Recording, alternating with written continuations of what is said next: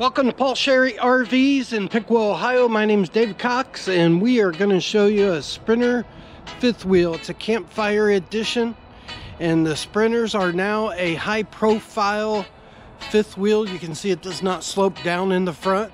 Has the really nice big cap on the front. Also these have your road armor hitch pin and road armor suspension which takes off a lot of the jerkiness when you pull a fifth wheel down the road.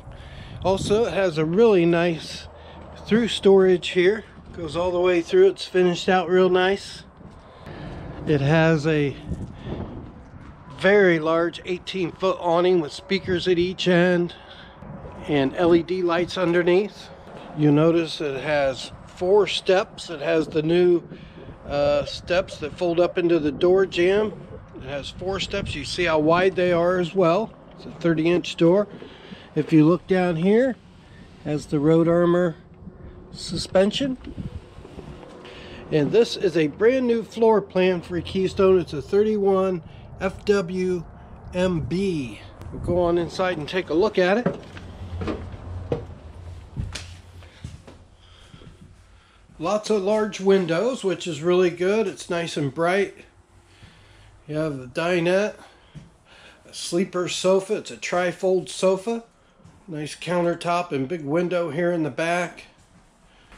You have a TV with a sound bar, USB and HDMI plug-ins on the sound bar.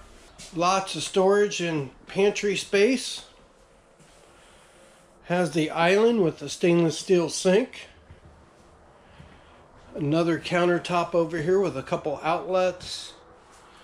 Has the new Furrion oven that you don't have to light with a match. It's got a direct spark. 8 cubic foot Dometic refrigerator and lots of counter space. Inside here we have another trifold sofa with a bunk bed over the top. Nice shelving with outlets and a place for a TV and a place for the kids stuff. Lots of storage. Moving on up into the bathroom. It's a walk-through bath. You walk through right to the bedroom. It has a nice linen closet here.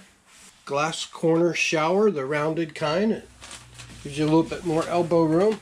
And it has a nice vanity and sink area with a medicine cabinet. Moving on into the bedroom you have a regular queen size mattress with shirt closets on each side and storage above the bed. And this is pre-wired for a second air conditioner if you want to add that. Also has a nice place for a TV. Come and see us today at Paul Sherry RVs in Piqua. Shopping for an RV can be very difficult. There's so many makes and models to choose from. And how do you ever know if you're going to get a good deal on what you're buying? My name is Mike Sherry and I'm with Paul Sherry RVs.